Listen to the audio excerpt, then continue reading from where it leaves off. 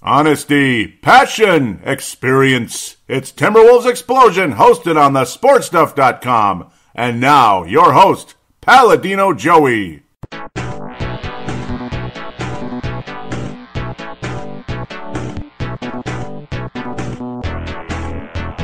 Hello again, Timberwolves fans. Are you ready for the explosion of Timberwolves basketball? I am your host, Paladino Joey, or Joey Awajan. Timberwolves Explosion is available on Apple Podcasts, Google Podcasts, Google Play Music, Stitcher, and Double Twist. Welcome on board. Thank you for joining me once again today to talk Timberwolves basketball. Not a bad week for the Wolves. No Karl Anthony Towns, no problem. We got Gorgui. We got Gorgui. We don't want Karl back because we're actually playing defense. Yeah, Timberwolves two and one this past week. And of course, I'm kidding. Of course, we want Karl back because the offense obviously is not the same without him. I just, boy, boy, Karl. You know, you know what's funny because we always talked about it. You know, how many times have I talked about this on the show the last five years or so with Karl and Andrew Wiggins? They came into the draft as like a phenomenal defender, and I hopefully, hopefully they get their offense together. Maybe they'll be like a Garnett. It's like the defense is super good, and they're, you know, they'll get their twenty points or something. Yeah, it's like completely the opposite, at least most of the time. Though uh, both of them can have rounded out games at times. Uh, Andrew Wiggins is considerably better uh, defensively than he was in the past, so that's good. Obviously, it's a totally different vibe of late. Last couple years, uh, well, the last year for Wiggins mostly, and even Karl had some moments last year, some outstanding defense. Uh, obviously, both of them are more than capable of scoring the basketball. Karl, obviously, since he's been injured, 26 0.5 a game. He's well, he's been stuck at that number, which is an unbelievable number. You know, not quite league MVP level, but it's you know it's, it's in the hunt. We'll say in the hunt, not in contention, but in the hunt. You know, when you're like out of the playoffs, but you're yeah close, that type of thing, which is the Wolves' case, I guess, as well. Andrew Wiggins, 24 points a game. Obviously, he finally came back from the worst flu ever, I guess. Uh, you know, I don't know. I, I don't know if NBA players milk injuries, milk sickness, or they're just more precautionary, or they're just not like they used to be. Like, they don't make them like they used to back in the day. You don't see, but and also, it's not the NBA Finals or anything with uh, Michael Jordan's case and guys like that, obviously playing through major sickness and winning NBA championships, stuff like that. Michael Jordan multiple times doing that, 92 and 97. So let's get to the point here. Let's talk about the three games. We visit the Cleveland Cavaliers. I had a good feeling going into this game. Actually, I didn't. I did not have a good feeling going into this game because the Wolves rarely, or the Wolves stunk so bad at home against them. But I figured hopefully maybe with our road record we'll be a little better, and they were. And Gorgui Dieng was unbelievable. Kevin Garnett like numbers. I mean, literally Kevin Garnett numbers. The one stat here that I think is better than Garnett usually, obviously, because not many people do this. Four blocks, uh, four blocks for Gorgui Dieng. What a beautiful game! He was four, four or five from downtown. Just that silky smooth shot. I mean, he's the he was the alpha wolf last week, and he's going to be in contention for it all the week again. What an awesome, awesome showing. Jarrett Culver just continuing to improve that three point shot. Jarrett Culver's three point shot's getting better and better and better. Gorgui's just been lights out at times, and Napier continuing his extremely strong play. This was a fun game extremely fun game. We had 42 points in that second quarter. The third, Cavaliers went on an insane 31 to 4 run. What? I mean, that's f- freaking awful. Yeah, that's right. 34 excuse me, 31 to 4 run. I mean, really is that is that real? Is that for real? Yeah. What the hell? And led by Dante Exum. I mean, good day, might. Okay, I don't mean it that way. Uh, wow. I mean, bloody oath bloody oath, Dante Exum. My goodness. Uh, uh, a lot of people thought he was going to be a good player. Ended up being kind of like a weaker version of, uh, yeah, the guy in uh, San Antonio. I'll just leave that alone. But, you know, just, you know, kind of a spark plug here and there. But this is much more of a spark plug. Uh, he led that drive. That uh, crazy run by Cleveland, which actually had them ahead for a little bit. The next thing you know, Wiggins nails a three, and the Wolves just kind of go on their run and wraps wrap the whole thing up. But my goodness, it didn't come with without some frustration. I mean, what the hell? How, how, do you give up that kind of run to this team? uh, there's talented players, but I don't know. That's kind of lame. That was kind of lame. Uh, but good, good on you. Good on you, Dante. Yep, see, I'm going to go to back to my uh, my Australian friends. You know, Germano, Wayne Hunt, Stu Benson, and, and many others. Kalen Woods, guys like you out there. You know, good on you, mate. Uh, when it comes to Dante Exum, what an amazing game. Uh, 11 to 13, made all four of his threes, 28 points. 24 of them in the second half. That is just, uh, well, as they say, that, that was sick. It, it really was.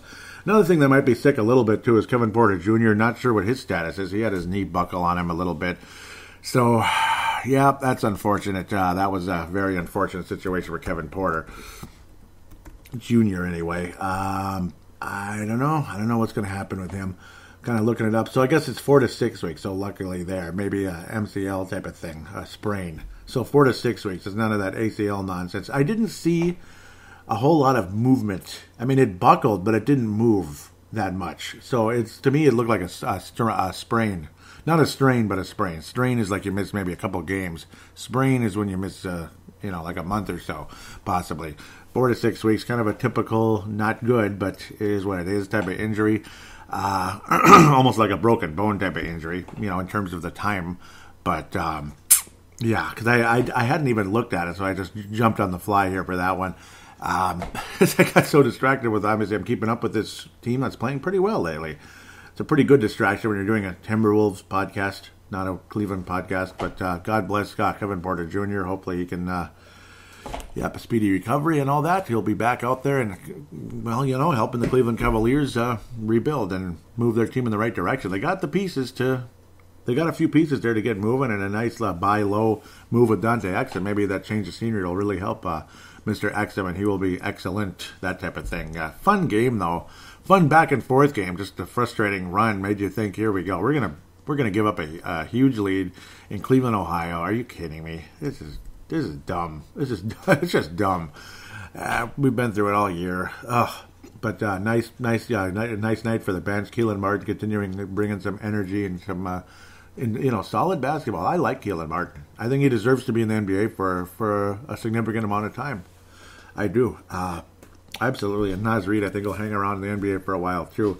Some people were uh, some of the classic. Uh, I'll call it the classic generation, not because I have nothing against them at all. We're kind of annoyed with the threes by Naz Reid. I agree too when it comes to like 10 threes, but a, a few is okay, and I'm sure they would agree with me um, you know the, the the veteran veteran basketball fans, and I'm a veteran fan too, of course. But I mean more veteran than me. I'm in I'm 40, but I'm talking guys like 60ish. Like, yeah, is he going to shoot like 19 threes again, Naz Reid? And it's like, no, I agree. Don't go into. I would say Naz Reid should keep it to about three or four a game, and, unless he really becomes a spectacular three point shooter, because I don't think he's there yet. Culver, though, I mean, keep it up, two of four. Gotta like that. Napier, I kept ripping on him and ragging on him, you know, like the last month or so. And he has really found a, a niche, and he is really uh, looking like a like a professional out there. And assist to turnover ratio, hey, and I talked about that all last week. Uh, seven to one assist to turnover ratio for Shabazz Napier. That's outstanding. Uh, Napier, awesome. Uh, Napier got the Alpha Wolf last week. It was I think a week before. That's when Gorgui got the Alpha Wolf, and he's both of these guys could be in contention again we'll just keep moving forward though. But Jarrett Culver, what a nice solid week for him. Four steals. What a nice night in Cleveland. I enjoyed every second of Jarrett Culver's uh, game here, and he's going to continue to play well against the ultra frustrating Memphis club. Oh God, they're very talented, but come on, man, they're not that good yet. That was Jan the 5th, again, after the Minnesota Vikings defeated the New Orleans Saints, and we were jumping around yelling, You like that? And it was uh, a lot of fun. So check out Purple Mafia if you'd like to do that to listen to uh, some uh, Minnesota Vikings versus New Orleans Saints conversation, and of course, a preview of the San Francisco, or I like to call San Francisco, uh, 49ers coming up tomorrow at this point, tomorrow afternoon. Thank God the day's off. I thought I was going to end up having to work. Oof, that would have been bad. Uh, I'm covering a division round game and I gotta watch replay of it. I gotta watch it on a replay. Oh no, no, no, no, no, no, not a game like that. So hallelujah, amen. I'm probably not gonna have to worry about that, sweat it out anymore. Um, Memphis Grizzlies, though, uh, you know, Wayne Hunt of the Courtside Podcast, probably the best basketball podcast on the planet. In fact, not probably, it is. Uh, check it out. Australia, again, Sydney's finest in terms of uh, Mr. Wayne Hunt and Stu Benson, and of course Finrock, Vince Germano, a name you hear every show as well from Melbourne, Australia. Love those guys. Great trio of basketball knowledge on the Courtside podcast on all the same publications like Apple and all that. Apple, Google podcasts, of course. Uh, Podbean is the other one. Podomatic, I believe. Yeah, Podbean. So we'll keep moving. Jarrett Culver, what a night. Three of five from downtown. Doesn't get better than that. It just sucked that we lost this one nice start to the game. We were actually ahead a little bit, but it's like, yeah, don't count your chickens before they're hatched. Uh, we were winning well into this game, back and forth, kind of a back and forth effort, winning well into the game, and then Memphis just pulled away. Ja Morant, he's got some skills. I'm telling you, he's got some ball handling skills that uh, are going to make him a star in this league for quite a while. I've uh, I've been a fan, and wow, I mean, a good lord, behind the back made Jarrett Culver look silly, and Jarrett Culver looked awesome out there against Ja Morant, though. I mean, give him credit, right? Can we give him credit? Eight of eleven from downtown. He can be aggressive to the basket, and again, uh, eight of eleven from downtown. Eight of eleven overall. Only eleven attempts, for 24 points. I mean, how many times do I have to keep talking about the points to field goal attempts ratio, the Paladino Joey ratio, or whatever, with the uh, field goal attempts to points ratio? Jarrett Culver, 24-11. I mean, you cannot complain about that. But Wiggins, there it is. Wiggins is always the one that's got the got the negative, you know, got the disappointing ratio here. 15 points, 13 field goal attempts. He wasn't that bad in the game. A little sloppy though. He was definitely sloppy. The energy wasn't that great. It wasn't his worst game. He didn't get to the free throw line, which is a little irritating. Uh, Jarrett Culver was aggressive the entire night. Even got to the, you know, well, attempted seven free throws and he missed two of them very strong overall night, and Naz Reid continuing to provide some energy off the bench. Love what he brings. And Jeff Teague, a nice solid performance, 18 points off the bench as well, hitting half of his shots, including half his threes. Awesome. Uh, Napier, big, big, big, big relapse in this game. Not a good night for him necessarily, but uh, it was a fun game. Just the finish wasn't good. Like you know, and even Gorgui did not have that hot of a game. Got a little trigger happy, and I keep complaining about this because it's it's a it's a valid complaint whenever a guy's nailing his shots, it's like okay, he shoots like three or four of them, uh, three pointers. But whenever he's missing, we get into the six, seven, eight attempt range. Like you know, like Wiggins, Wiggins was adequate. Like three of eight, that's not good, but it's not terrible. Gorgui one of six. It's just like ah, you know, and Keita Bates-Diop forcing up threes, but I don't know. It is what it is. Oh, three.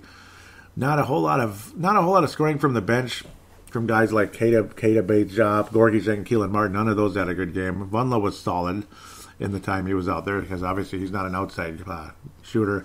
Treveon Graham was a DNP, unfortunately. So, well, I guess that's why we lost, right? If Treveon Graham isn't in the lineup at all. But I don't know. His skills are limited. He's just got that uh, defensive energy and he's aggressive and very, very strong, that type of thing. But, you know, you had a good effort from Culver and Teague. Culver and Teague were, were uh, particularly very good in the game, and as was uh, Robert Covington, was very sharp in this game. But those guys just they needed more help from Wiggins, Napier, you know, something like that. They needed more help from guys like that. And and Gorgui, you know, Gorgui had probably his weakest game in I don't know how long. I mean, we're talking forever. Uh, Culver was a plus eight in the game. I mean, give give him some credit. He was just awesome the entire night. Give the guy credit. He was uh, he had a hell of a game. I mean, he had a hell of a game. Did uh, Jarrett Culver? So credit where it's due. I want to analyze some of this a little bit. Some mild analyzing here. I mean, Jarrett Culver of late, he's just been stepping up.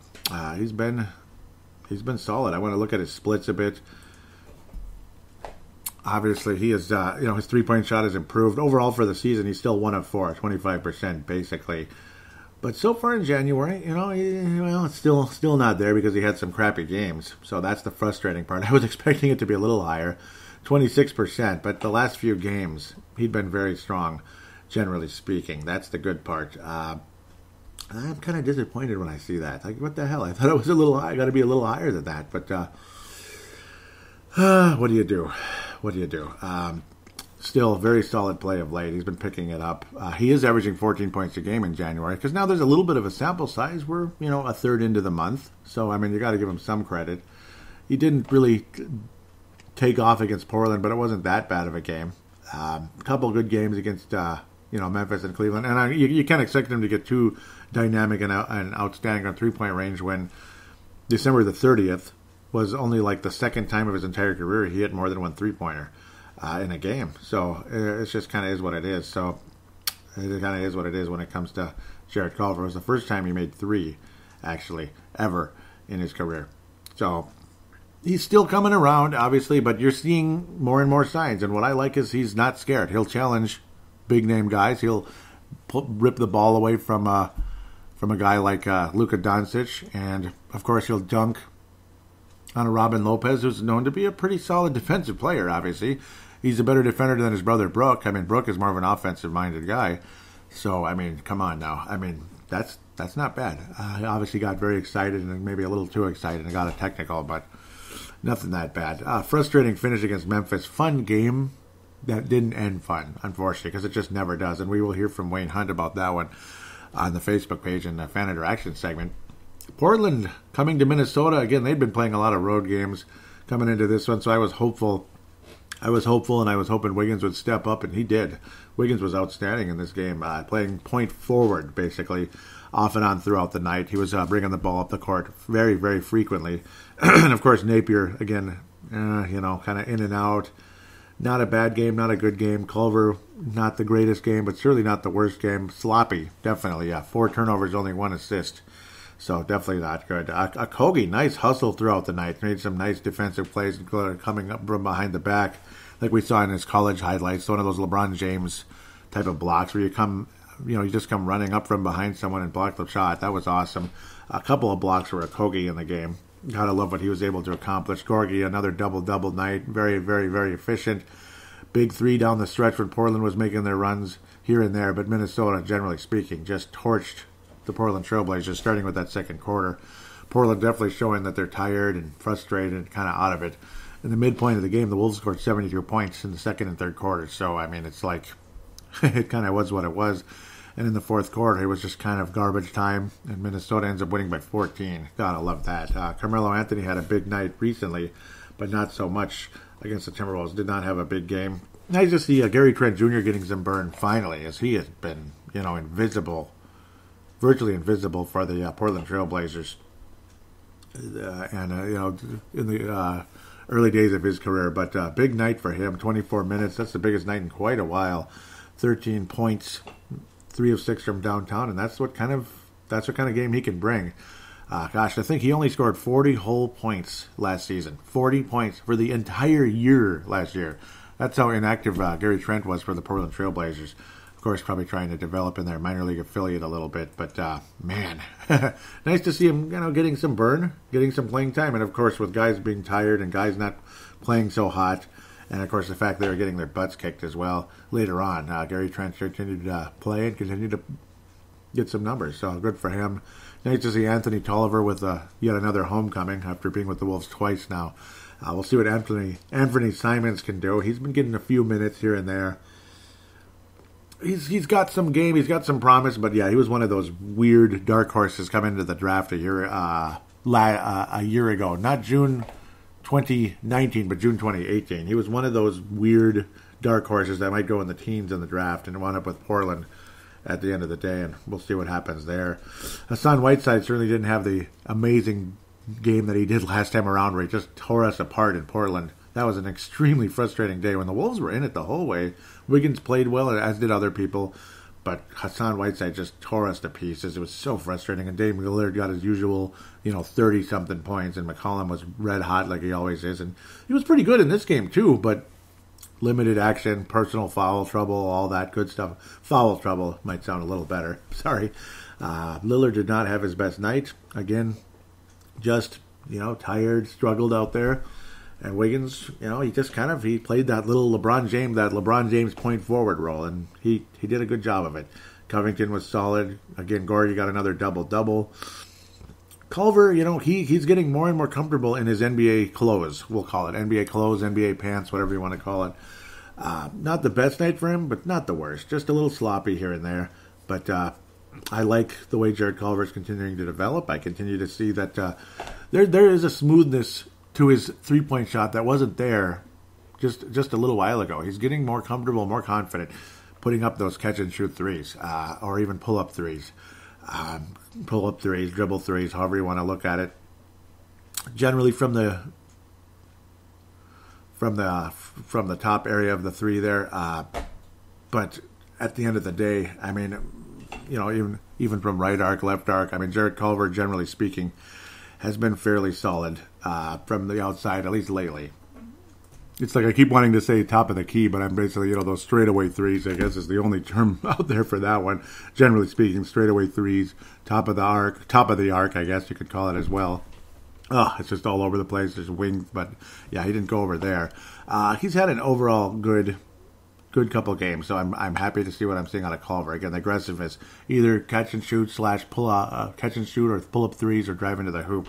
Culver, that's kind of what his game is going to be, I think, as he gets better and better in the league. And then, of course, again, adding some assists and hopefully, again, getting stronger at the free throw line, this and that. So, nice solid win. The Wolves go two and one. What a nice, uh, solid week. Not bad at all it's not the easiest choice really for an alpha wolf for this week. It's not the easiest choice. Uh, Andrew Wiggins again. I, I didn't even say how he was. Yeah, he how solid he was generally speaking. He made half of his threes again, and again the three that uh, kind of helped the Wolves take over down the stretch. He he set the tone in this game. Andrew Wiggins did. He's not going to get an alpha wolf because he just came back the other day and he was not that good against Memphis. But this was an alpha wolf type of game. He plays like this. He's going to get the alpha wolf every game uh, because it was just a solid everything you want out of Andrew Wiggins except getting steals or blocks. He didn't get that in the game, but and he'll he'll get those at times. I didn't like that he missed half his free throws. That's annoying. It's just I don't know. It just keeps happening with him. But an overall solid night. You can only complain so much. I mean, eight to one assist to turnover ratio. That's freaking beautiful. Just beautiful. Absolutely beautiful. Uh, playing that point forward game out there, kind of running the point better than Napier can. Basically, he doubled Napier's assist to turnover ratio. Just look at it that way. So. Uh, in, in a positive way, of course. Um, very solid night for Andrew Wiggins, generally speaking. Generally speaking, uh, again, the Alpha Wolf this week. I think I keep struggling. Should it go to Covington? I think he's kind of going to get like a yeah, Covington and Culver. I'm, I'm going to have them share it because Culver, you know, he generally had an awesome week, and I love what he's doing out there. Covington was solid in all the games this week. Covington was the guy we'd like him to be. You know, hitting half of his shots playing solid defense, not getting too trigger happy when he's not shooting well, and not being super limited when he is shooting well. Like, oh, he was four of eight. Why? Why only eight though? Why only eight? You know, he should be doing a lot more than that. He's six of ten. You know, he gets six of ten. What was the other game just now? I mean, you know, six of ten against Memphis, very solid. Four of seven from downtown. So Covington absolutely, you know, a factor in every game, every game, and it's nice to see him playing just a better overall efficient game than he had been playing. Uh, six to twelve in the Portland game. So it's it's nights like that that you know he provides the solid defense. He, he does a little bit of everything. I don't like that he's playing power forward. I think I'm going to keep saying it when Karl comes back. Gorgui Dieng needs to play a significant amount of minutes. I'm going to keep saying it. Gorgui Dieng needs to play a significant amount of minutes when uh, Karl-Anthony Towns comes back. He he absolutely needs to do that. So I mean, the Timberwolves defense being way better with Karl Anthony Towns not playing tells you something. It tells you that well, I mean, somebody else in his position is doing something right. That's what it tells you. The offense isn't the same because Karl averages 26 points a game. You know, Gorgui's like a 14, 15 point a game guy when he's starting, which is totally fine. I mean, that's totally fine. I mean, you look at Richaun Holmes, who's like a starting center, basically de facto power forward center for the uh, uh, Sacramento Kings. I mean, you wouldn't dare take him out of the starting lineup. That guy does everything. He does everything. You wouldn't dare take him out unless you had, you know, unless you had Shaquille O'Neal as your starting center or whatever, you know, anybody that's way up at the top, or let's say Anthony Davis, somebody like that. But you'd still want him in the lineup. You'd, you'd still make room for him. You have to make room for him. Gorgui Dieng needs to be getting minutes. I don't want to see Gorgui Dieng getting any DNPs unless he's really sick or really hurt. And he's the kind of guy who's going to play through a lot of stuff, and he's still going to play at a high level, I think. Gorgui Dieng needs to be playing regular minutes. I mean, again, you complain about the contract, uh, yet when he's out there and he's productive, what the flying bleep are you complaining about? What what the hell are you complaining about? Play the bleeping guy, and he'll give you production for his for your money rather than having him rot on the bench. Oh, he's overpaid. He sucks. He's overpaid screw Gorgui Dieng. He sucks. He's overpaid. So, but yeah, how are you going to get rid of that contract? Oh well, you know, it is what it is. No, it doesn't have to be what it is. Play the bleeping guy, and you're going to get production out of him. Um, you know, the NBA players make a billion dollars a year because because of the TV contract. Unfortunately, that's just how it is. You know, I don't like it very much. I don't agree with it necessarily. I don't blame anybody for earning money. You know, earning money if they earned it that type of thing. Just it's a little bit bloated because of that TV contract, I think. I'm glad people like the NBA. Uh, too bad for you know some of the great players of the past that probably deserved, you know, more TV viewership than they got back in the old days. That were because the NBA was was. I'm going to tell you, the NBA was. Uh, I think it was an overall better product in the old days because some of the players and the personalities were just I don't know they were just more likable than nowadays. But still a great game, still a great product, generally speaking. Uh, as long as it's balanced out, not 99 threes and zero of everything else. So, or 1% of everything else. That's my only complaint, generally speaking. Well, point made. Play Gorgui. Play Gorgui. Play Gorgui when Karl comes back, okay? Starting him at power forward or very significant minutes at both power forward and center uh, when guys like Covington and Karl sit because they're going to have to sit sometimes. You know, they're not going to play 48 minutes a game, and Gorgui needs to be in there frequently, very frequently. Give him minutes, damn it. Give him minutes. I mean, I'm just going to keep saying it. I'm going to keep saying it. You're going to get sick of me saying it, but I'm going to say it. Okay, well, we'll be back right after this. Should I say it again? When Karl Anthony Towns comes back, keep playing Gorgui Dieng significant minutes.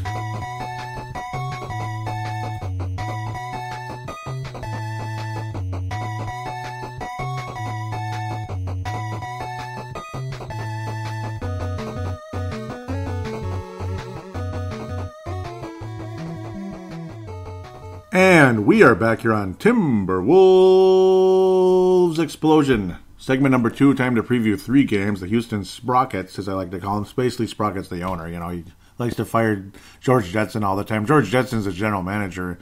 Yeah, well, no, maybe not. Maybe it's not quite George Jetson. He George Jetson might be, uh, maybe he's the head coach. I think Vinrock Vince Germano would like that very much because uh, not a big fan of the uh, formerly known as Coach Pringles. Obviously, the mustache is missing. So, yeah. Okay, like, Pringles, you're fired! I think Vinrock, Vince Germano, and other uh, Laker fans that uh, experienced Pringles as their coach might have uh, felt that way.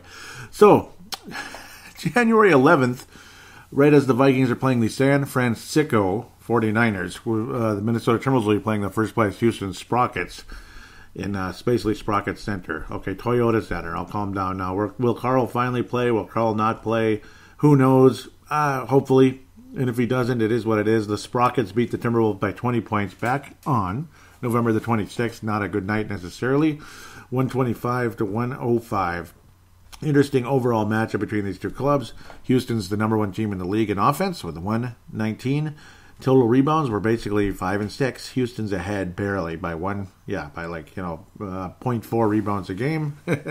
Field goal percentage, Houston not surprisingly is well ahead, especially with the uh, absence of Karl-Anthony Towns. Timberwolves are 26th in the league in field goal percentage. Rockets 17th, but of course, free throw percentage, yeah, well, you know, they're a little better. It doesn't matter. Three point percentage, Houston's only 20th because they probably take 9,000 threes and don't make a whole lot.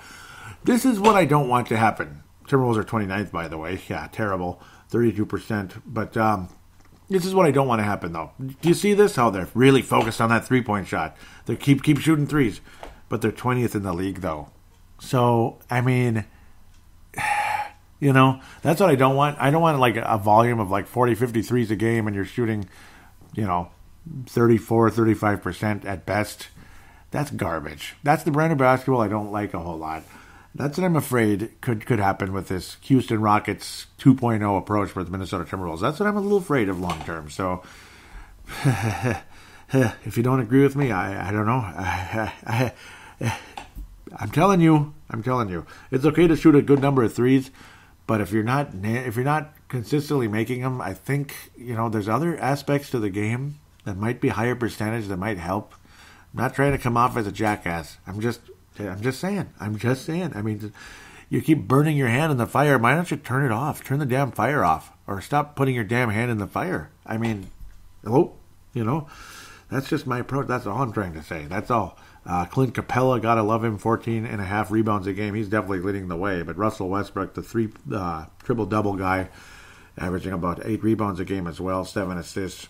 I don't think this is a good mix. They're winning basketball games now, but come playoff time, James Harden's playoff history has not been good. Russell Westbrook's playoff history has not been good.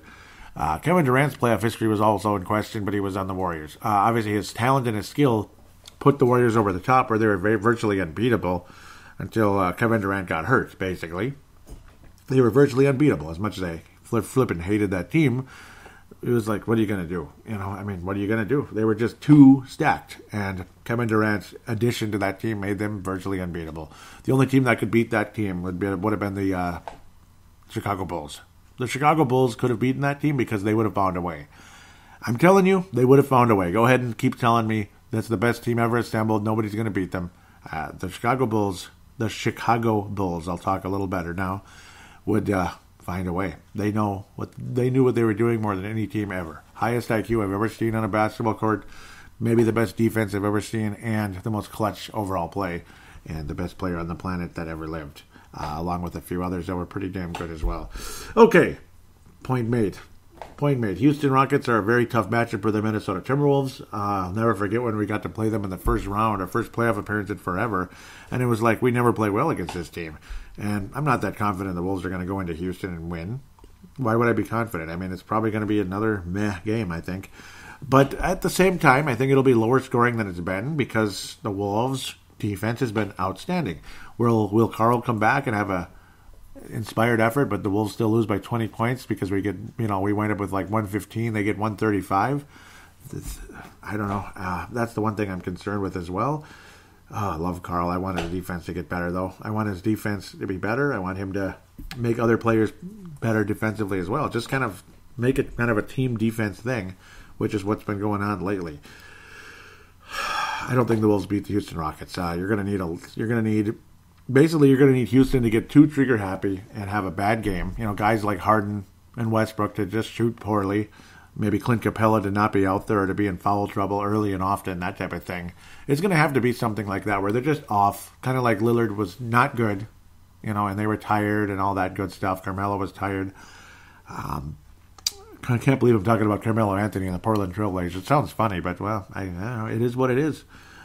when you get a little older and you're a valuable player, but you're not a, a superstar, and um, you know you get moved around a bit because other people want to uh, have you on their team, and this team is like okay with uh, not paying you a billion dollars, that type of thing.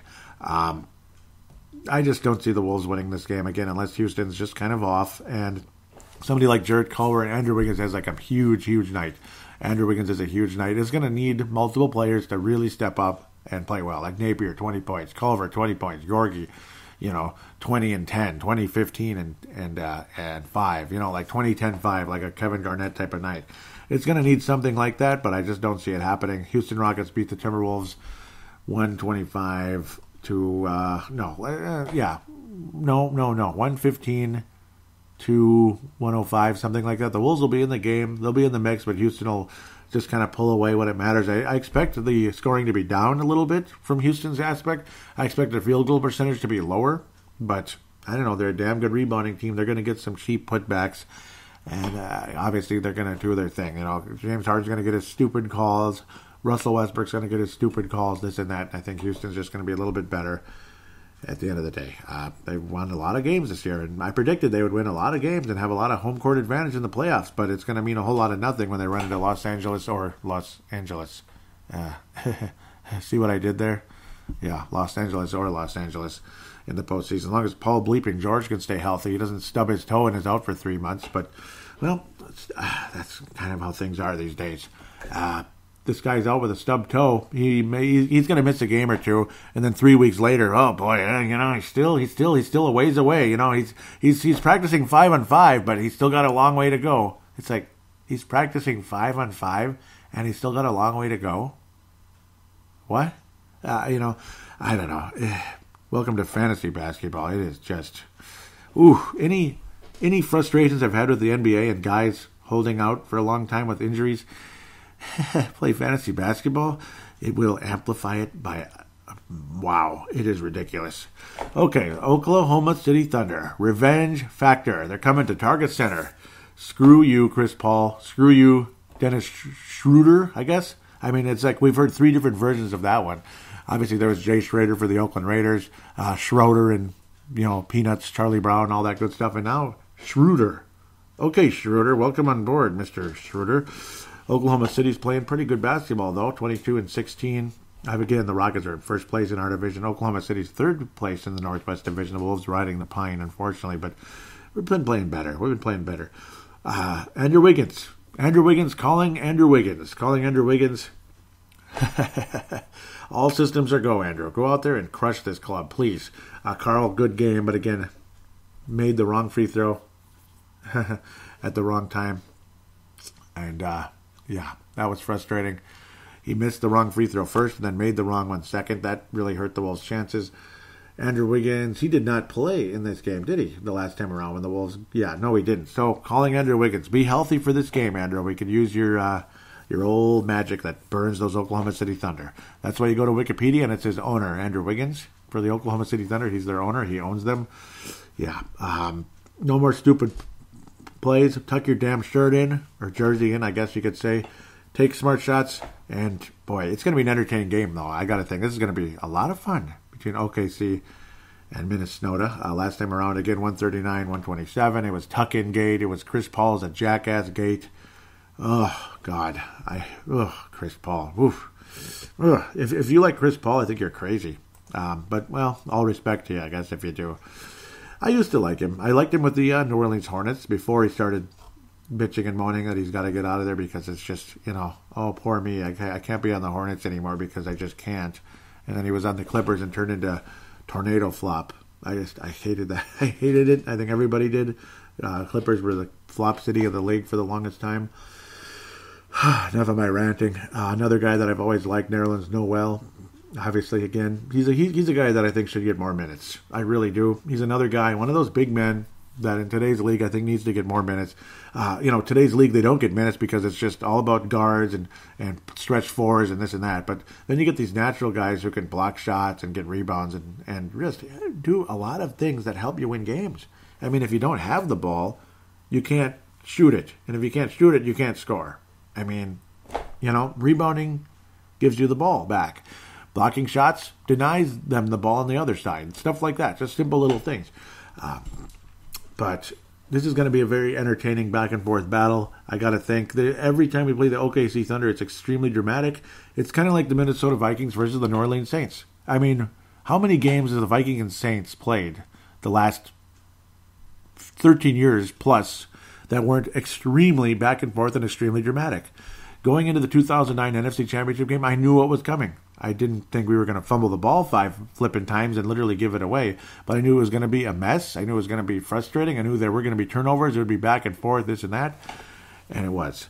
Uh, and it's always been that way. Uh, that's how it is usually with this, with these two teams. Even during the Kevin Durant and Russell Westbrook days, it was always very very dramatic. Uh, Kevin Love hitting a big three that put us into overtime and then Kevin Durant hitting a three that put us into double overtime, and we ended up losing the game. But Kevin Love had like 50 points. It was a fun night, but the Wolves lost this and that. The Wolves have had some very dramatic games with Andrew Wiggins getting career highs and hitting game-winning threes that get to 40 points. It has been a lot of fun. Um, Andrew Wiggins, it's time. Andrew Wiggins, go out there and get your 35, 40 points and help the Wolves beat this club in tar- Target Center. If you have the time, your schedule allows, and your bank account allows, go to this game. Go to this game in Target Center. Go to Target Center, and and, and uh, be there and uh, enjoy a very very very good basketball game. This is highly recommended as far as I'm concerned. Oklahoma City, Minnesota, beautiful, and heckle and boo and trash Chris Paul all you want. Stay classy if you can. Stay away from the middle fingers and the f bombs if you could, but you know annoy the hell out of him all you want. Make him miss. Hopefully Hopefully it hurts him. I'm guessing I won't hurt him too much. But uh, it's going to be an entertaining game. That's all I got to say. I do believe that the Minnesota Timberwolves will defeat the Oklahoma City Thunder. I expect an inspired effort, regardless who's in the game or not, between Karl, Anthony Towns, or Gorgui or whoever. But uh, I expect an inspired effort, and I do see, see Andrew Wiggins showing up. Uh, it did not help that Andrew was not out there last time around. Uh, he's had his injuries, he's had his sicknesses, this and that. Um, I can't remember if this was during his uh, he got sick right after his grandmother died, that type of thing. So that was unfortunate. And he got sick again. He's had some bouts with the flu and such, has Andrew. And, um, well, the whole Christmas season, Christmas and New Year's, it's like everybody was sick, it seemed like. Some people it was a cold and others it was a flu. It was like a curse. It's like the, know, the devil was having his, his fun with everybody for a good two, two and a half weeks or so there. It was ridiculous. It's very depressing. Um, but, uh, regardless. Minnesota is going to have a very entertaining victory over Oklahoma City. Will it get to OT? Will it not?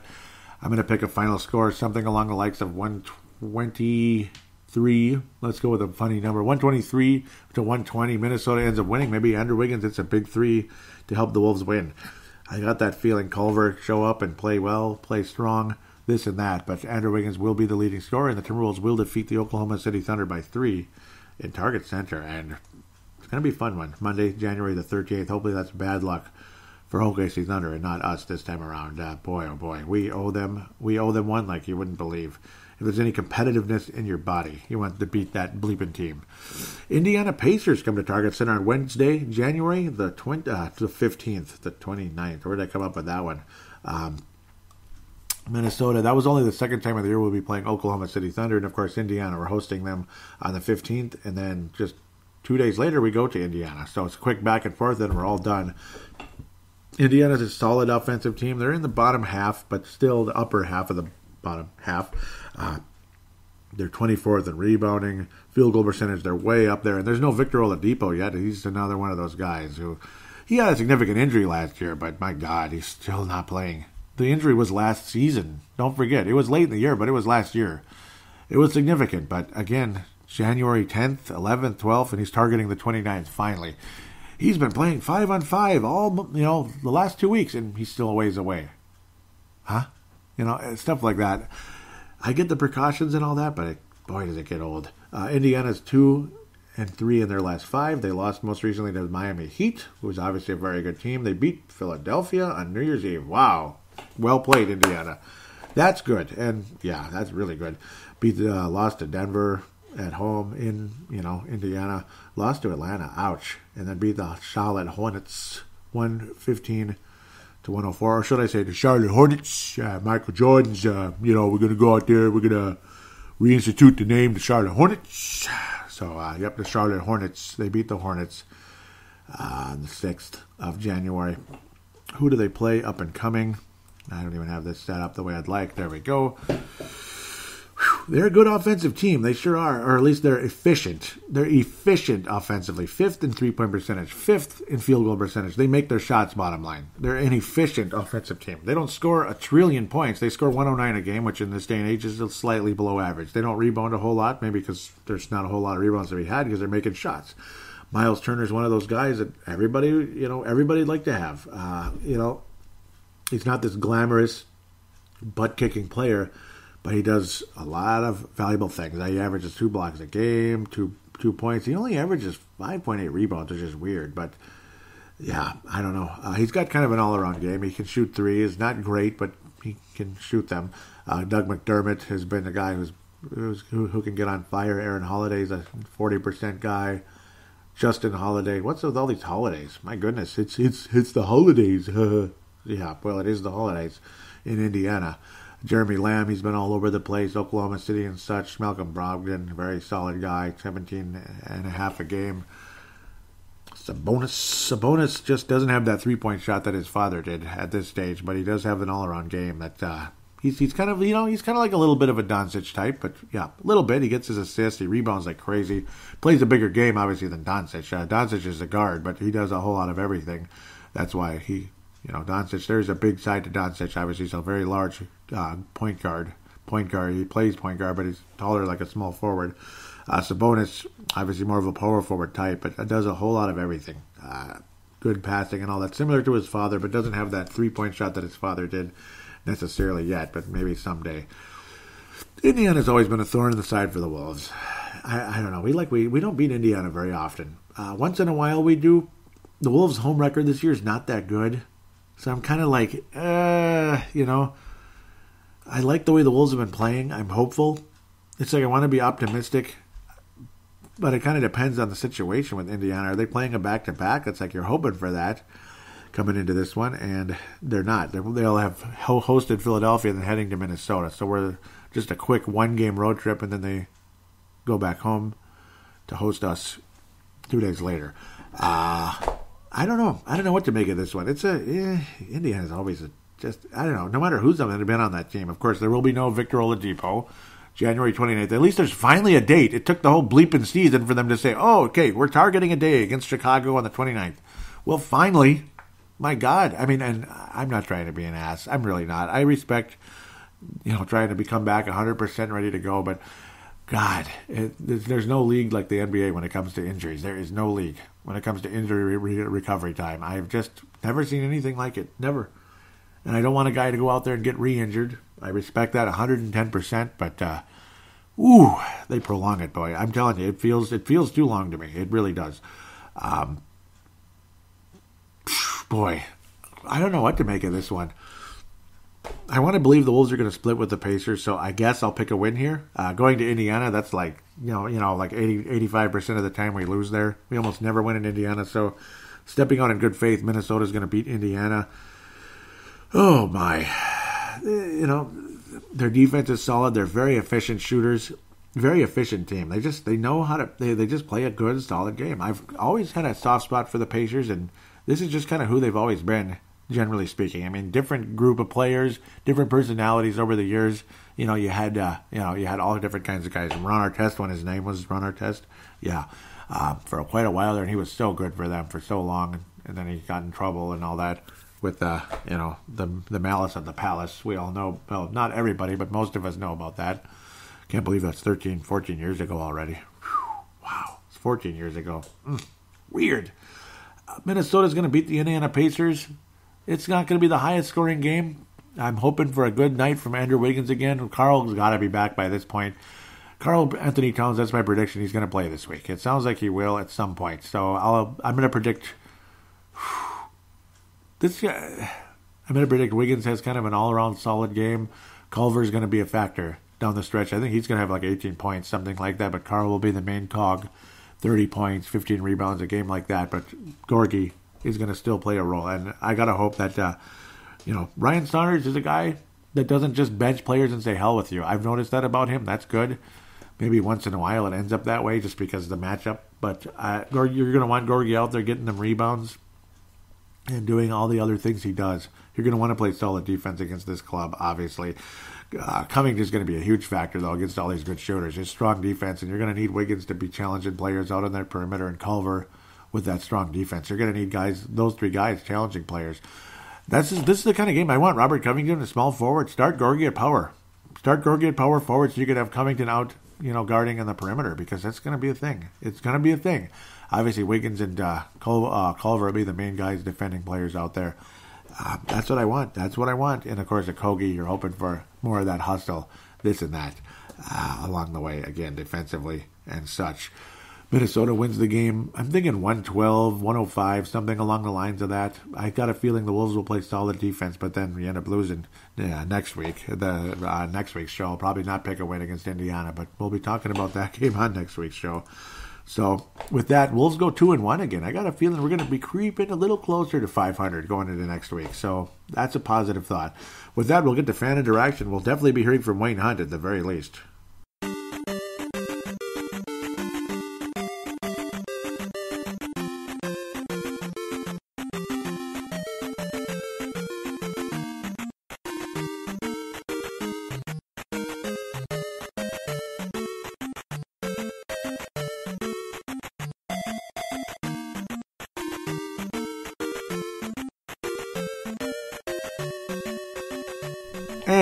We are back here on Timberwolves Explosion segment number three, final segment and fan interaction segment. We'll get to the Twitter account. We do have some reaction today, which is really nice. Nice to hear from multiple people today. At Wolves Explosion, at Wolves Explosion is the Twitter account. We will jump into that first, like we always do. Or so I'd like to believe. Thank you, Vinrock, Vince Germano, Levi Brown, and Tanae Brown for retweeting the most recent show. Thank you so very much, uh, Shabazz, Naz, and David Stern. Episode 270. This is 271.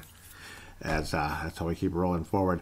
Vinrock Vince Germano, of course, out of Melbourne, Australia, and the Courtside Podcast, like I talked about earlier in the show. Awesome show. Highly recommend it always. Levi Brown and Tanae Brown out of New Zealand. Heard from uh, Tanae Brown on this show in the past with the audio submissions. I'll tell you how to do that at the end of the show. Can't wait to hear from you again someday. Uh, I'd love to hear from uh, I'd love to hear from Levi Brown, Vinrock, Vince Germano, Wayne Hunt, anytime, anytime. Audio submissions, obviously, and anybody else out there that uh, maybe I don't know you yet, uh, jump on board. Love to hear from you. Audio submission route. We'll tell you how to do that at the end of the show.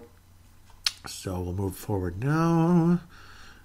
Heard a couple times from Levi Brown, and there he is. He says, "Yep, another great game from G and Napier too. That was The uh, the whole uh, that was against the uh, Cleveland Cavaliers on Jan the fifth. John Mayer tweeted out, "Should we have the conversation about starting KAT G together again, like the old days, now or later?" Yes, yes, absolutely. Yes, John Mayer. Thank you. Thank you, John Mayer, and thank you, Levi Brown, for posting that. Uh, yes, for uh, getting that rolling out there, you know, retweeting with the comment, that type of thing. That's what they call that. Yes, uh, Tanae apparently liked that as well. They need to start. They need to start together. Robert Covington needs to go to the small forward position. You will have three, well, yeah, you'll have at least three good defenders as long as you, well, you might have a whole good defensive lineup. I think it's a good defensive team right there. Uh, obviously plays good, solid defense. Karl's defense will probably get better. There'll be less pressure on him, per se, defensively. Robert Covington can move out a bit closer to the perimeter to play defense without giving up the, the paint. You know what I'm saying? I mean, without uh, hello, and then of course you got Wiggins. Wiggins' defense has been better. Obviously, it's been better for the last, uh, you know, generally speaking. He's had some not so good games defensively, but generally speaking, his defense has been good for about a calendar year now or so uh, even slightly before, uh, yeah, slightly before uh, Tom Thibodeau was let go. And, you know, obviously Culver's defense is very good. It's very good. He's not perfect, but it's very good. Uh, let's keep moving up a bit. Yep, oh yeah, Murray Upton was was worried about that Viking game, and I was too, very much so, because it comes to me because you know we all all my podcasts follow each other, I guess, just in case you know this and that. Levi Brown tweets out he was replying to wow he was he had uh, he had uh, Gorgui Dieng and two others. That's interesting. And then Tanae and myself, random but still impressive. I believe that's that statistic. Let's see if I can pull that up here. Well, yep, there it is. Yep, and that's yep third player in NBA history, and this is also on the Facebook page that I tweeted out as well. You're from Wayne Hunt there, but yeah, the third player in NBA history to have 20 plus points, 10 plus rebounds, six plus assists, four plus blocks, and four plus three points made in one game. Uh, that was awesome. Uh, the only other guys were uh, James Harden, and why am I blanking on the other guy there? I know who that is, and I'm blanking. I apologize. Oh, come on, I know who that is, but I'm blanking. But uh, Gorgui Dieng obviously did it, so good for him. Gorgui Dieng and James Harden have done it in the past. Mm. So we'll move forward now. Oh, I closed the Twitter account. I closed the Twitter account. So we keep moving forward. Now I gotta pop this all back up again. Isn't that fun? I believe that might be it, actually. Uh, yep, there it is. Yep, Dillon Brooks killed us again. Yeah, we'll get back to that. Yeah, in about 10 seconds, just making sure. Yeah, and it was a very random statistic, very random. Uh, Dillon Brooks killed us again. Yes, he did. 28 points, and he had multiple threes, and it's just, that guy is a Wolves killer, and the Memphis Grizzlies continue to kill the Timberwolves, so extremely frustrating. I feel you 100% there, uh, Levi. Oh, unbelievably frustrating. Crazy. So now we'll go to Facebook. Facebook.com forward slash Timberwolves Explosion. Facebook.com forward slash Timberwolves Explosion.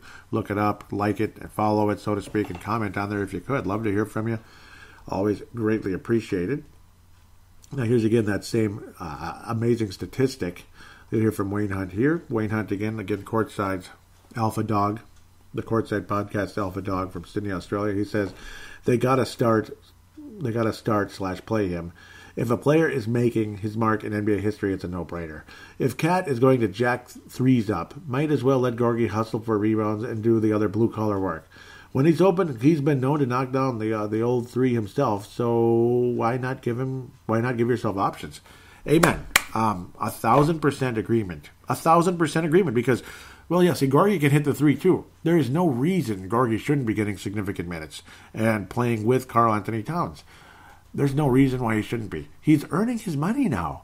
You know, you, you, rather than complaining about his contract, about complaining about a, a contract of a guy while you're benching him, why not play him and then actually wow you actually get significant production from the guy the defense is way better the defensive numbers on your team are like light years ahead of what they were when he wasn't playing. Uh, and you know, I mean, he's he's a difference maker. Is Gorgui Dieng, and again, that three point shot is silky smooth. There was a time Gorgui from three was like, okay, random here and there. Ah, I missed. Okay, oh, cool, he made one, nice. But now it's like a consistent, solid thing. It's a silky smooth shot. It's a lot better than those than those uh, mid those long twos that he used to take, and he'd make sometimes and he'd miss sometimes, and that's when Gorgui was looked on as a guy like ah, he's just kind of okay you know, there's a lot more to Gorgui's game. And it, it, he has adjusted to the modern game very well. He has adjusted to the system very, very well. He's going to play in the league another 10 years if he keeps playing like that. Okay, maybe not. He's, he's, he's already like 30, isn't he? I can't believe that. But no, he's going to play in the league for a long time yet. He's going to get another contract if he keeps playing like this go ahead and laugh at that statement. No, he is going to get another contract. You know, eh, regardless if it's 16 million a year or 12 million a year, he's going to get double digit millions a year again because he's a valuable guy. He might get 16 again. He just might. And I won't complain because I want him on the team. I want him with the Wolves. Eh, I'm not trading Gorgui. You know, if if you want to unless you're going to get like the moon for him, I want to I want to keep him. So thank you very much, Wayne Hunt. That was awesome. I agree with you at 1000%. And now the the Memphis rant, the rant from the the rant. Uh, he's a Memphis Grizzlies fan, of course, and but at the same time he's recognizing the massive frustration. You'll get some multiple responses here. Wayne Hunt says, "Oh boy, oh boy, oh boy! Try not to make us look like a playoff team today, Joey." This is right before the game.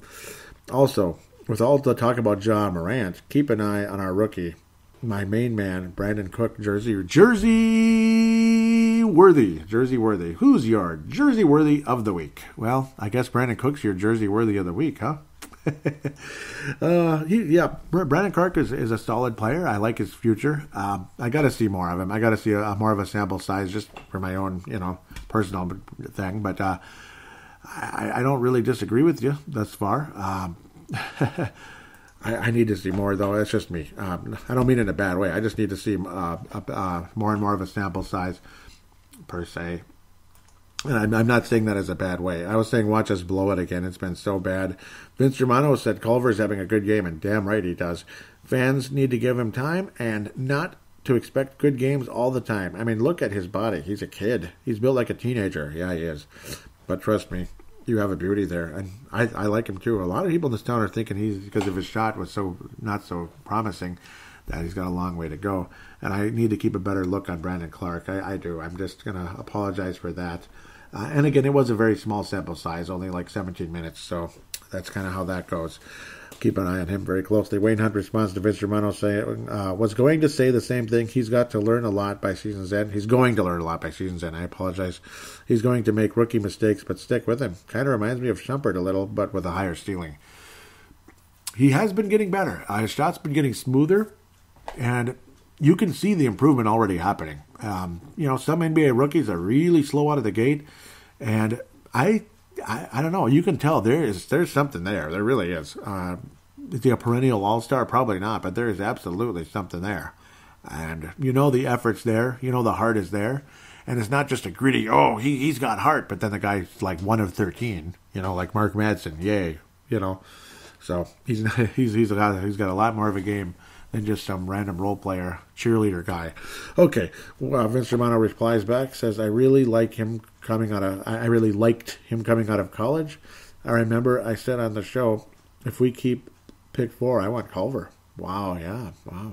Yep, that would have been the Lakers. Huh. Yeah, that's right. Yep, you did, and then you traded it, and eventually got uh, all the all that uh, hullabaloo that you got there. That was pretty interesting stuff. You know, Anthony Davis and such. Wayne Hunt wraps up this little uh, thread saying, "Yep, I remember. If you do want to part with him, Joey, I'll trade you you Iggy for him." And it's like, nope. Why would I do that? Right? That would be a dangerous decision, I think. So now we will move to the other the other uh, thread I had going here. Well, at least uh, Wayne had going here. He said, "Well, a few things after today's game against Memphis." Number one, Timberwolves shouldn't be dropping games against rebuilding teams, even with KAT out. It says a lot about where the Wolves really are. Yeah, it does. And uh, Ja Morant sure made us look silly. Um, as good as our defense has been, it wasn't that good in the Memphis game. I mean, 119, it's not the worst total, but it, it's bad. And Ja, Ja Morant sure made everyone look silly with those behind the back crossover dribbles. And sometimes it's like, what can you do? But still, uh, Dillon Brooks made the Wolves look stupid as well. It was ugh, 28 freaking points for Dillon Brooks. Mm. Two, can't sleep on Memphis. We are young, fast, and can cause real damage from beyond the arc. I noticed, yeah, and you are young and fast, and yeah, you're you're you got a lot of good players on that team. I mean, I'm not going to deny that. and their record isn't that bad 16 and 22 i mean it's not like they're 16 and 70 you know? Okay i'm just making a number up but you know i mean there, there's a there's something there. And i do understand your frustrations with tyus jones on last week's show. Uh, not a whole lot of excitement going on. So much for the assist to turnover ratio. He had three turnovers and one assist in the game. Three turnovers and one assist so it's turnover to assist ratio in that game too. Yeah, Tyus Jones not too special so far with Memphis. That's too bad. But he got his money he got his money, right? Isn't that how it? Isn't that what it's all about these days? Oh, Tyus, uh, God bless him. I would love to see him back in the, with the Timberwolves again someday, but well, a lot of people are saying that we uh, upgraded with Napier. In some ways, yes, he's uh, more aggressive offensively, and he's more capable of having a, a, big night that can change everything. It's just Tyus was kind of a stabilizer. That's what I appreciated about him, I suppose. Uh, continuing, number three, I've I've been really impressed with our rookie coach what are your thoughts? And of course, uh, well, I mean, I, I think he's doing a good job too. Um, at the end of the day, that would be, of course, Taylor Jenkins. I I, I think he's solid too. Uh, it's I mean, well, he's getting he's getting a lot out of your players. I mean, I, I don't know him that well yet. It's a it's a small sample size, just getting started, just like Brandon Clarke. But it's enough of a sample size to say he's getting a lot out of these players. Uh, guys are performing for him, and he's the kind of guy I think you can grow and develop with, and maybe he's the guy that's going to be with Memphis for many years, and he'll be the all-time winningest coach, maybe, because you know coaches come and go, they come and go, and then you have a guy that's there for forever, like Popovich with San Antonio. All those good teams the Spurs had, and they changed the coach, and they'd make it, they'd make it to the second round. Maybe they got to the West Final, but then they'd lose, and they'd lose, and they'd get farther. They'd always had all these good teams, and then all of a sudden, there's this guy named Popovich nobody's ever heard of. Duncan breaks his foot Duncan, or excuse me, Duncan Robinson breaks his foot. The Spurs end up getting uh, Duncan in the draft, and things just kind of the, the guys all grow together. Robinson was already a veteran, but Duncan grows with them. Parker grows with them. Ginobili grows, and you could just go on and on and on with all the other good role players, all the way up to you know Kawhi Leonard years later, who became the next star, uh, who wasn't even thought of as a star coming into that draft. And Popovich just did a hell of a job, and you know, I mean, it's hard to imagine the Spurs without Popovich now.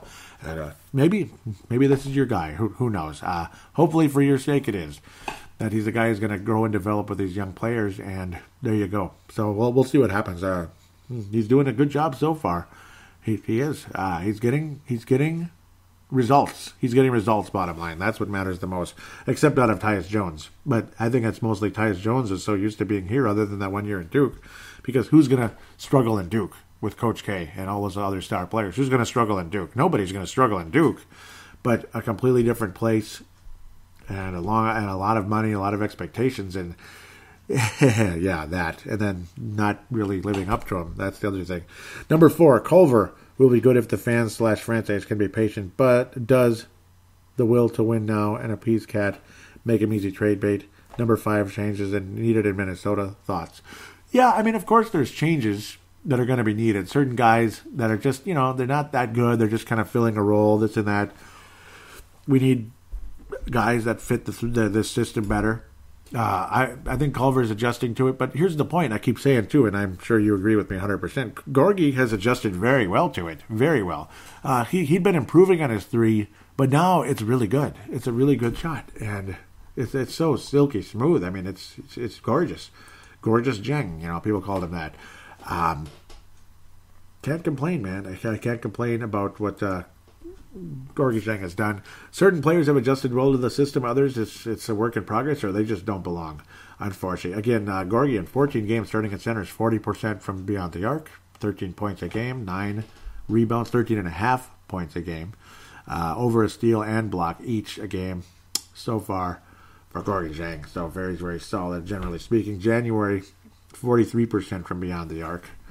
In the five games he's played, he's been uh, pretty damn good, generally speaking. Rebounds have been kind of hit and miss here and there, but generally speaking, he's done a hell of a job uh, in that role. So great thoughts, Wayne Hunt. Uh, generally speaking, changes needed. I just hope Gorgui is not one of the changes. If Robert Covington gets traded, and you can get players that fit the system, that's good. Keita Bates-Diop, I'm kind of all over the place with him because he turns in games that don't really do a whole lot. Jordan Bell plays a role that I like, but you know, obviously he's not a guy you want shooting threes. certain guys. I mean, and you don't need everybody to shoot threes. It's like it's okay to have three point shooting. It's not okay to go overboard. It's not okay to expect guys that's just not their game to suddenly force that into their game. That's not okay. Obviously, and Jake Layman's been out since you know 1985, so that's the other thing. I mean, it'd be nice to see the Timberwolves with Jake Layman back in the lineup because obviously there's a silky, solid game to him as well. Uh, he's he's been missing in action forever. So I mean, it's guys like that. Treveon Graham, love what he brings with all the defense and the energy. But if he's a, a piece that gets replaced by a guy that can, you know, that can hit three point shots, be it maybe the draft, maybe the second round of the draft. Jaylen Nowell, hopefully can continue to get better, this and that. So that's what, that's what I think with the changes. I mean, we don't necessarily need wholesale changes. just need guys to, you know, we just need better defense. Obviously, we're going to make changes, just not wholesale changes per se. Um, point guard position is kind of all over the place. It depends on how you feel about Culver. Can he play? Is is he your full time point guard of the future? Is he going to be the shooting guard? There's going to be a lot of decisions made. Like uh, perhaps Covington gets traded, and of course Gorgui stays starting at power. Like in, in, in that sense, Andrews the small forward, full time. Culver's the shooting guard who can you know be a playmaking shooting guard along with uh, point guard de jour, whoever that is in the future, maybe in the first round of the draft this year. So that's kind of how things go with that. Oh, it's a it's a it's a lot of thoughts, and Wayne, you always uh, you always do a hell of a job of uh, bringing thought provoking posts to this show. Thank you again so much. God bless you. With that said, I'm going to encourage you to join the show via the audio submission route. Simply use the simple uh, you simply use the uh, voice recording application on any smart device on the planet. Press record, treat it like a phone call, hit stop, save it, email it to paladinolive at yahoo.com, paladinolive at yahoo.com. I will then convert it into an MP3 file. Thanks to Zamzar or Converto.com. Can't thank you enough in advance for joining the show. If you do, I would love that so much. Also, please do give a positive rating for the show on Apple Podcasts, Google, Stitcher, whatever. I, I don't know how many actually allow you to do that, but Apple Podcasts for sure allows you to do a positive rating or a rating at all, whatever it is. If you could do write a positive rating, you like the show, five stars, and tell me what you like, it'd be greatly, greatly appreciated. I'll give you a shout out on air, and thank you so much if you could do that in advance. With that said, I've gone a little long with, uh, but uh, that was a lot of fun though because Wayne brought a lot of interesting, interesting conversation to the show. As did Vince Germano, as did Tene Brown, Levi Brown, of course. That's awesome on Twitter. Thank you so much for bringing that, and keep keep keep them coming. I appreciate it very much. I apologize for not being more active on uh, Twitter this last week, uh, Levi. I apologize. Just so distracted and working late, and then coming back and replaying the games at home, and the you know parts of it in the evening and parts of it uh, well, really late evening, and uh, chunks of it in the morning as well to get caught up and seeing what I need to see. So, with that said, I wish you a good uh, good week and the Timberwolves to continue their winning ways.